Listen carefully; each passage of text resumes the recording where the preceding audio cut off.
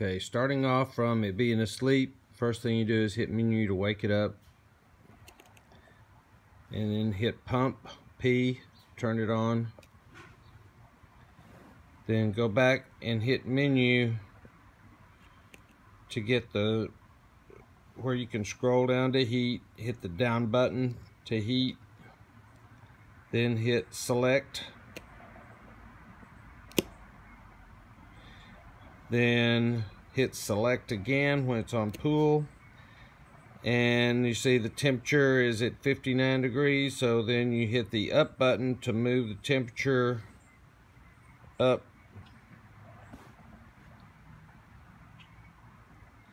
And I'm set it at 100 then you hit the select button again to see that it's on heater. That's good.